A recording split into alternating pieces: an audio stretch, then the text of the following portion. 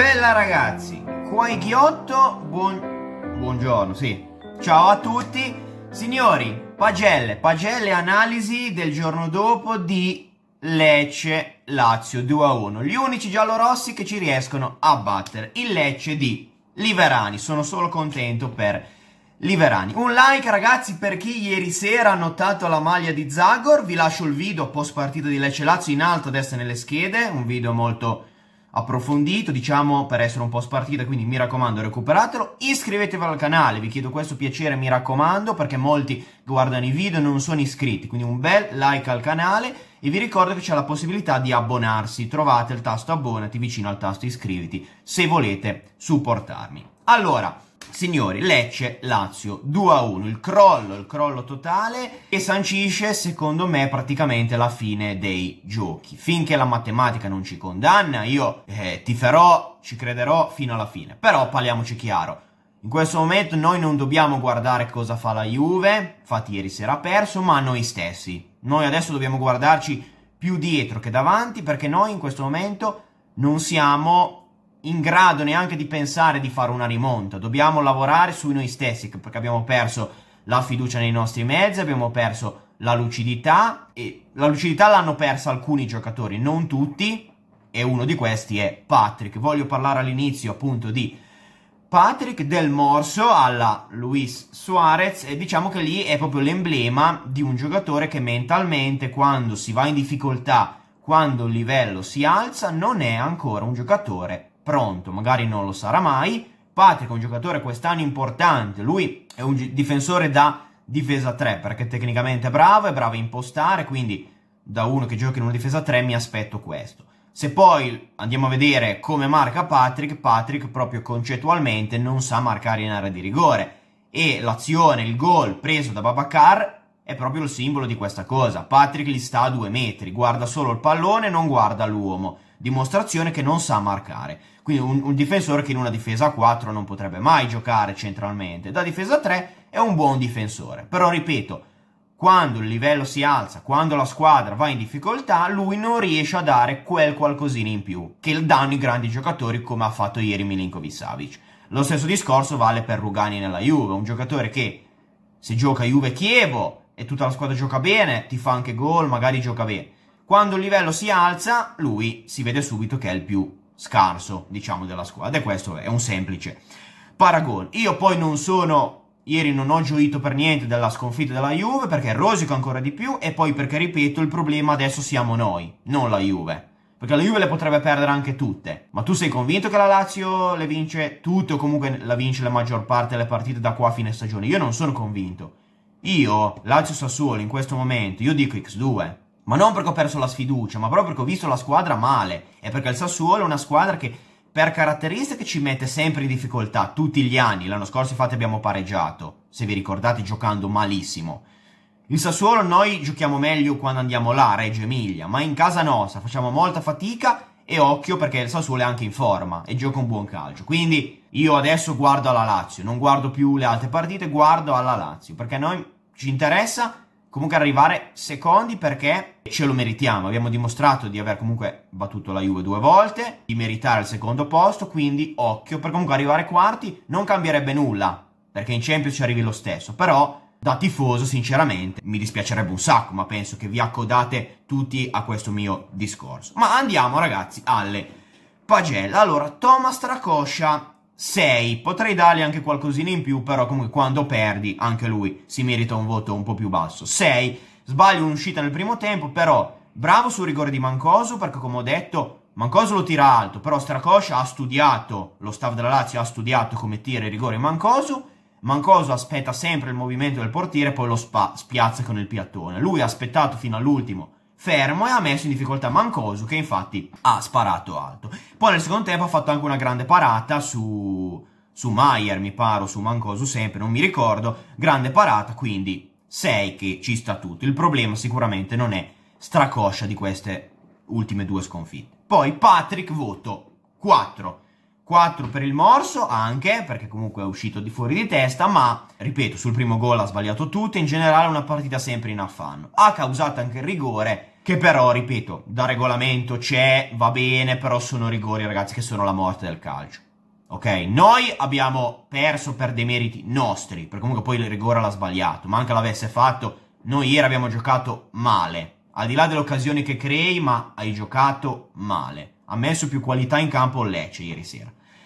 Però, ripeto, secondo me è un rigore che non si può mai dare, perché allora metti la regola che le scivolate non si fanno più, perché tu non puoi andare in scivolate con le mani dietro o con le mani così, non esiste, non esiste. Quindi comunque il voto di Patrick è 4. Acerbi 5, anche lui male, grosse responsabilità sul gol di Lucioni perché marca male, marca da dietro, invece devi stare tra il pallone e il difensore. Acerbi, ripeto, è imballato in queste partite ma ho visto in generale che un po' tanti difensori centrali sono in difficoltà come De Vrij, sta giocando male, perché è normale che i difensori magari ci mettono un po' di più, anche chi fisicamente è più prestante, più, gra- più grosso, come può essere Lukaku, come può essere altri giocatori, di solito ci mettono un po' di più a entrare in forma. Quindi Acerbi in queste partite in generale è andato sempre in difficoltà. Però ci sta un momento di difficoltà, non, non, non lo crocifigo assolutamente. Però il voto è giusto dare 5. Poi Radu 5,5, in affanno, sempre in affanno, falli, non ha commesso errori particolari, però falli inutili, troppo irruento, ma in anticipo, sempre in ritardo, infatti bravo Inzaghi, perché ieri Inzaghi magari non l'ha preparata benissimo la partita, però l'ha letta bene, perché comunque ha tolto Radu che era in difficoltà, ha messo Luis Felipe al centro, Acerbi a sinistra, infatti Acerbi ha giocato meglio quando era a sinistra che quando era al centro, perché Acerbi il piedino ce l'ha, ha messo anche dei cross interessanti. Lazzari 6. Buona partita di Lazzari ieri, gli manca sempre la qualità finale per, mettere, per fare il passaggio decisivo, anche per concludere, perché poi nel primo tempo ha avuto un'occasione che non so se vi ricordate, che l'ha messa in mezzo, Male lì poteva tirare tranquillamente, Marusic magari avrebbe tirato. E Lazzari gli manca un pochino il senso del gol, gli manca il passaggio finale, però ieri una bella prestazione di quantità, anche comunque un po' di qualità, perché ho visto degli scambi con Milinkovic molto interessanti, uno dei più vivi, ha attaccato tante volte alla profondità, si è inserito tante volte, quindi bravo comunque a Lazio.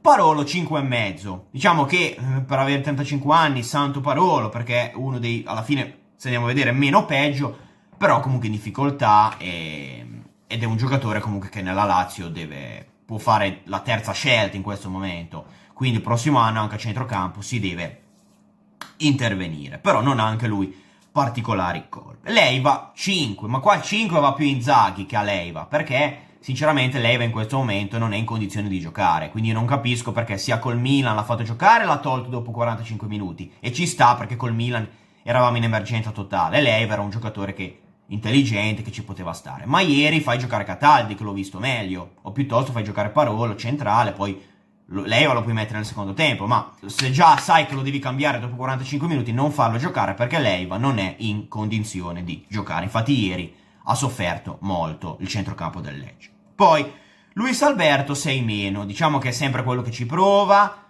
però mh, mm, ieri l'ho visto anche lui un po' meno lucido, ha sbagliato anche dei gesti tecnici, quindi 6 meno, anche perché da Luis Alberto mi aspetto sempre di più.